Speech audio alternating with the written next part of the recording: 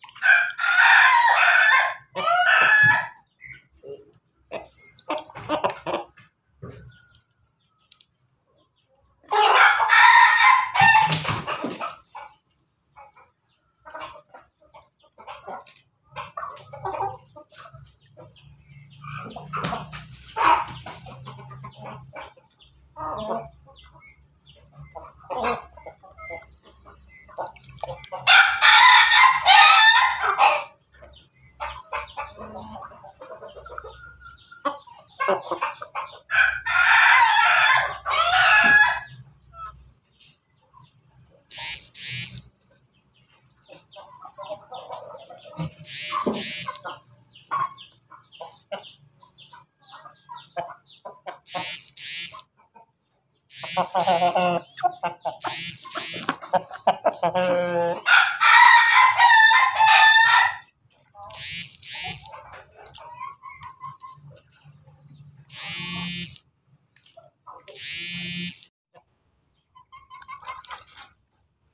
kita lagi sedang merawat ayam.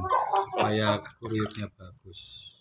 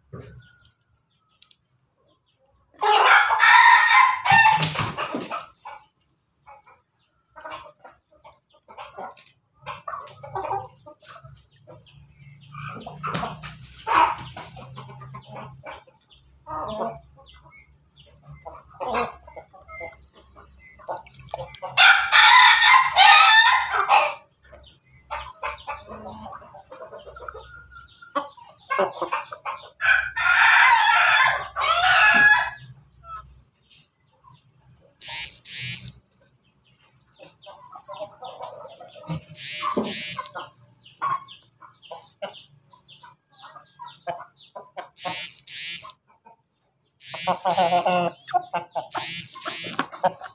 ハ